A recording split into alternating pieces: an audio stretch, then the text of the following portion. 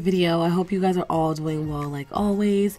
And thank you guys so much for clicking on this video to watch it. I'm so excited. Um yes yes so as the title of this video you guys already know what i'm talking about so let me just jump right in and start with telling you guys that the sims 4 realm of magic comes out on september 10th 2019 on pc and mac and for console users you guys will get it on, on october 15th so before Halloween, thank goodness. So, yeah, I just wanted to tell you guys the dates. They'll be on the screen and the description of this video. But jumping right in, this video, I'm just going to be telling you guys all the key features and if it was a hit or miss for me in the trailer. So, all the things that I wanted, like the Harry Potter feel and all that good stuff, I think I got it. Okay, so well, I don't know yet for sure, but I'm pretty, I'm thinking that we got it. So first off, we have realms. Freaking, they can travel to different realms. That's really what I wanted. So the new world, if you did not know, well, there are two worlds confirmed, technically. And the two worlds are, um, well, well, first off, there's two worlds that have been confirmed, so it's not like a joke or whatever that we're gonna have two of them because at first I was like, no, we're not gonna get two worlds. Um, just because we've never gotten two worlds at like once. So I was like, no.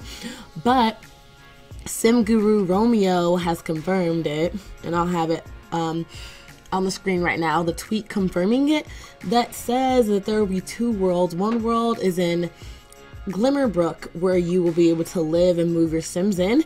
The world number two is the Magic Realm. So, huh, so exciting. Um, you are not able to officially move into this world, but there is nothing stopping you from putting a bed on the lot.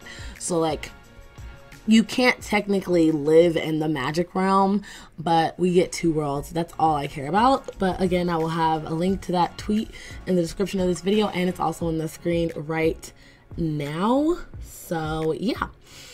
I'm going to explain a little bit about um, Glimmerbrook to you guys right now. It's a quiet town, family homes, places to hang out, a dense wooded area with a mysterious pathway. And what is back there, Simmers?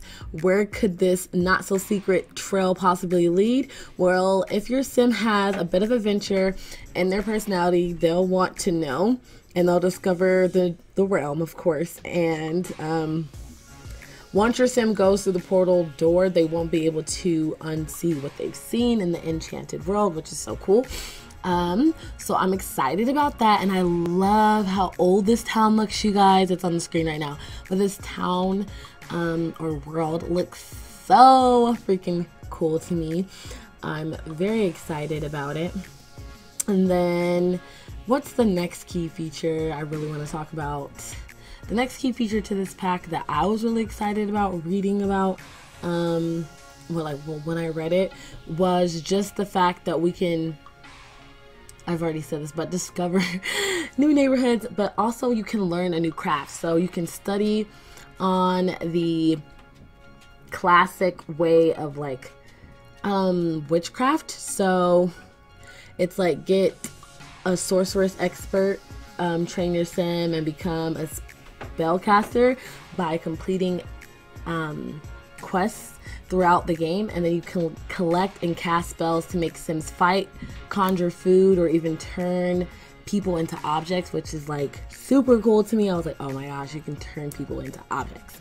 Um, create drinkable potions to make sims fall in love remove unwanted curses and you can have a live forever one and i thought that was super super cool.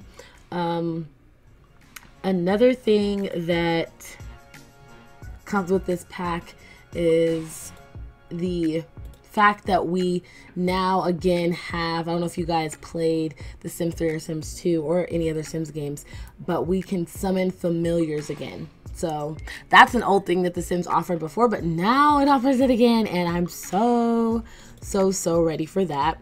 So we can conjure up things again, um, different things, you know. You're with your sim, become the spellcaster they were destined to be, summon a dragon. Ha! Dragons. So excited. Uh, a fairy, which is what I really, really want. I was like, oh my gosh, please let fairies be in this. And there's fairies. So I'm really excited about that. Or give them a creative name, which is really cool. And then you can dress for the supernatural success, which is in the spirit of sorcery, it's gonna come in so many different outfits to suit your sim, which I'm so excited for the attire because the creative sim pieces in the trailer. I don't know if you guys thought so, but I thought it was like amazing. So it like hit everything for me. We get to have realms, we have witches, we have um, warlocks, we have fairies. They can travel to different realms. I keep saying that, but the world just looks beautiful. Purple's my favorite color. Um, it gives me the Harry Potter feel that I wanted. It has the uh, what is it? Brooms that I wanted, casting spells or stones in this. I'm just ready, you guys. So just start a comment below. I don't want this to go on. I just wanted to point out those little features that I was excited about. Tell me what your favorite feature is so far that you've learned from the trailer or just from this video and um, yeah let's start another conversation below and i'm so excited and if you're wondering if i'm going to be doing a let's play on this pack or like a more so machinima series about like supernatural because now I have way more supernatural characters to use. Yes, I am. But um yeah, just leave a comment below talking about this pack and what your favorite um, feature is and I hope you guys enjoy this video and there's going to be more to come about this pack but with that said you guys I hope you're having a great morning afternoon or night whatever time of day it is when you watch this video and I'll talk to you guys all soon